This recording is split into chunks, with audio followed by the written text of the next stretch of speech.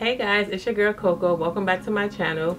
And on this channel, we talk about beauty, fashion, lifestyle, and styling, guys. So you guys may have seen this jacket already because I did another video. but I wanted to give you guys a quick update on my Spark aligners. I am on week four out of my 13 trays. And the reason why I wanted to do this video today is because tray four is tight. Okay? it's not unbearable tight but I feel that they're shifting. And I think I've said this probably one or two times.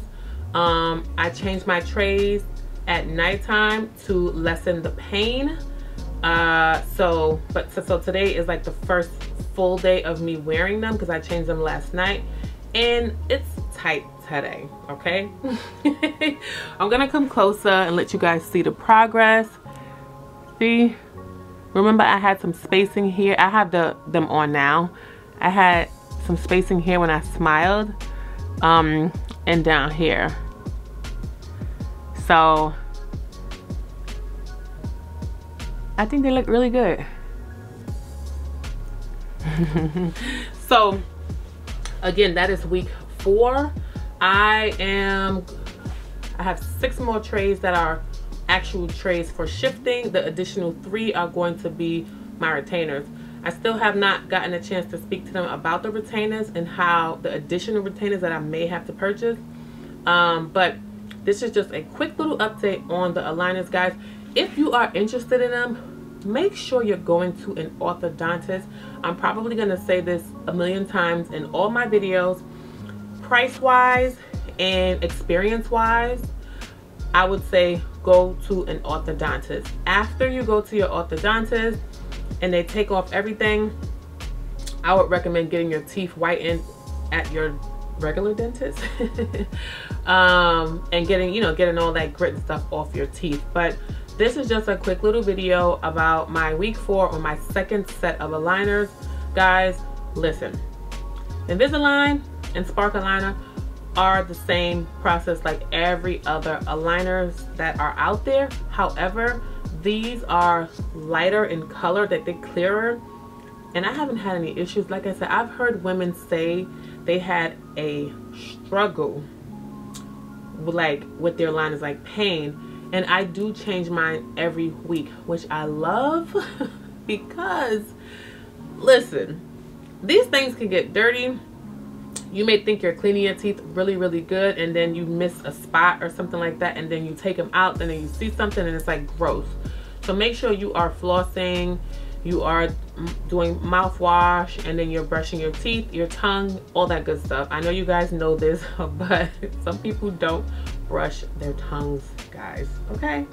So quick video. I just wanted to give you guys an update for those of you guys who are following my pro, pro progress on my Spark aligners and if you are interested in them i 100% do recommend them. I am not they're not sponsoring this video but my experience no real pain no cuts none of that. I would recommend them. One more thing i'm going to show you guys i don't know if i ever showed you guys this but the top of the aligner it comes all the way up. And apparently they say that the Invisaligns, more of your teeth are showing. So I guess that's another reason why my orthodontist chose to switch over to Spark Aligner. Now he might be getting some money. I don't know, he might be. But I definitely recommend them guys. No cuts, no gum issues, um, knock on wood. I haven't had any of that happen so this is why I would recommend it. I'm not going to recommend something that I don't like. You guys already know how I am with certain things. I am going to be honest. If I don't like something I'm going to say it. And sometimes I'm lazy and I won't send something back but I, I've gotten better with that.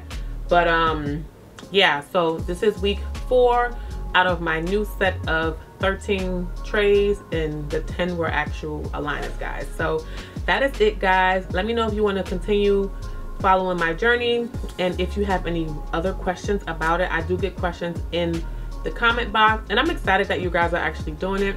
Listen your teeth are important. Some people are not comfortable with smiling because of their teeth and it just takes a little bit of investment guys.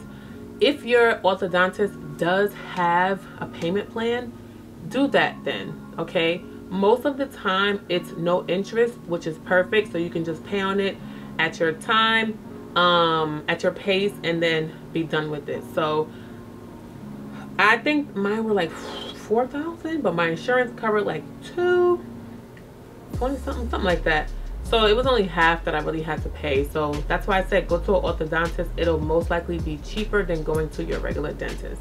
And the experience is completely different.